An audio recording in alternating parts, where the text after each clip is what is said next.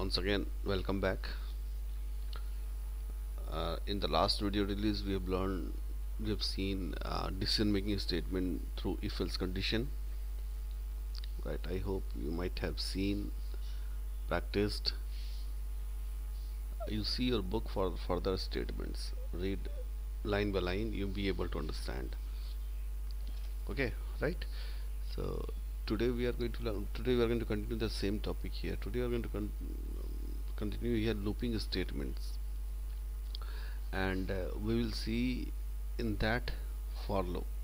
QBasic is giving three basic type of looping statement. Okay for loop do loop and while wend loop. So first of all what is this looping? And why you are using this one in the program? So in a very simple term looping means um, executing same statement multiple times a finite number of times. Okay you are doing some work till a finite number of time is known as looping such as say your name five times. So you are telling your name five times that is a type of what? Looping. Right? Natural number up to 20 again a looping. Print the sum of first 10 natural number that is again a looping. Okay so repeated task till a finite number till a finite number means what? Till a, a final statement where it is going to stop is known as looping. So today in a very simple uh, description we are using for loop. I make you to understand what is for loop. Okay so let's see what for loop is there. I am writing here first CLS what is the statement of for loop? You have to write here for starting to ending variable suppose I am going to print name 10 times. So I am writing here for x equal to 1 to 10 step 1 okay. And here I'm writing here next x. And then last statement will be end so here you see this is your for loop statement this one.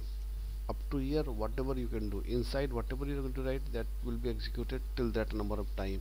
In the first one you see first one you see it is starting from 1 to 10 right? Here you see. For x equal to 1 to 10 means it will run how many time? 10 time.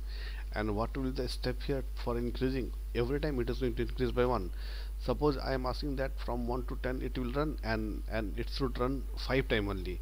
Then I should increase the step by 2 so first value will be 1 second value will be 3 like that will go. Each each time adding 2 okay. Now inside I am going to write here print. Mm, let me print. Uh, let's suppose I am writing a computer. Okay computer. Then again I am coming back to the normal. So this is the statement I had written inside for loop.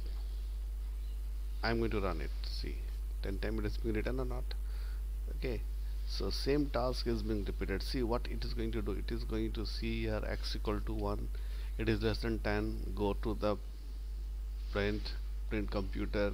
Again next will again come back here. X become 2 because of this step then again print then again it will go here 3 then again print again it will go here 4 again print suppose 10 time now 11th time. It is 11 11 is not coming in the range 1 to 10 so it will go from here directly to next statement that is what in the statement okay. You can do it just in reverse order also. Suppose not from 1 to 10 I am I am going from 10 to 1 so so just have a common sense. Can I have a plus 1 or minus 1 here? We should have a minus 1 here. Is it? See then same work. Either you go in ascending order or either you go in descending order. Both are same thing is that so if if uh, we are have to print the number then instead of this computer what I am going to do? I am going to print the number. 10 9 okay. I'm going to show you that ascending order 1 to 10 step is plus 1 just see 1 to 10 this is as looping. Okay. And suppose I am writing here 2 and again printing. See 1 3 5 7 and 9 only 5 times because each time the variable x will be added by 2 right? So that is there. So this is for loop structure. You can design any program up to your for example I am I'm giving uh, showing you one very simple program to print the sum of first 20 natural number. You have to print the sum. So this is that should be a for loop running from 1 to how many time? Yeah 20 time. And here step is what? 1 done so and inside instead of printing suppose I am going to print x inside so it is going to print till 20 time. Okay so what I'm going to do I'm printing also and inside I'm making making a sum. Sum is equal to sum plus x. I'm I'm going to add the number also. And when I will be out of the for loop I'm writing here print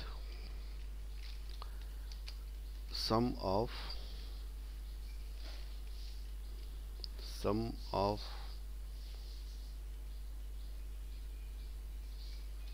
first 20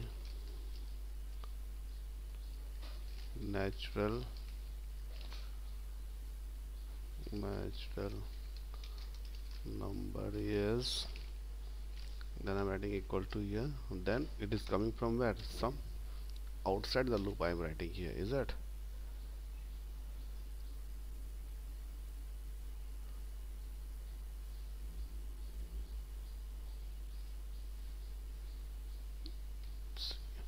See coming here. Or rather rather you can type like this uh, this big statement is not looking good. Right here sum equal to as now see see it's okay now. Sum equal to 210 right? So like this way things can be done. This loop is running for 20 time. Each time it is going to print the sum. Okay and when you are outside the loop this is this is the this is your outside the loop. And your loop is from here. Loop is from here. Is that? So this is for loop structure. Okay I want that you should try this. Uh, you understand this? Um, I will give more example for do loop do while loop do loop while wend loop. Okay further but I I want that you should understand it and try to formulate uh, such that print your name 10 times uh, sum of first 20 natural number sum of first 20 even numbers is it? Sum of um, you print any symbol for a specific number of times like that you you can see and you try to make you can see your book also. Okay so further I'll, I'll give a list of programs. You need to write these statements in your computer copy properly okay. So see you in the next class. Okay. God bless